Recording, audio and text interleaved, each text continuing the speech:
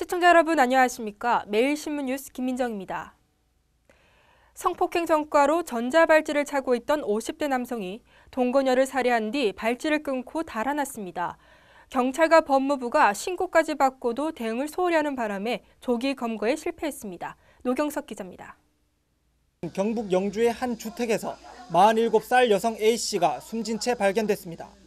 경찰은 4시간 전 동거남인 50살 김모 씨가 A씨를 살해했다는 익명의 제보를 받고 김 씨를 추적했습니다.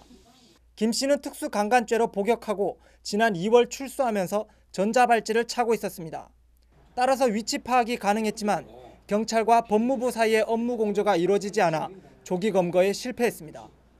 경찰이 법무부 중앙관제센터로부터 김 씨의 위치를 받아내는데 시간이 걸리는 동안 김 씨는 이 인근에서 전자발찌를 끊고 달아났습니다. 경찰은 사건을 공개 수사로 전환하고 김 씨의 사진과 인적 사항을 담은 수배 전단을 배포했습니다. 피의자로 특정이 되어 있기 때문에 피의자의 연고선, 지인, 자주 이동하는 경로 이런 것을 집중적으로 지금 수사를 하고 있습니다. 손발이 묶인 채 흉기에 찔려 숨진 여성은 2, 3일 전에 살해된 것으로 추정됩니다. 경찰은 고속도로와 국도의 CCTV를 분석하는 등 김 씨의 도주로를 파악하고 있습니다. 매일신문 노경석입니다.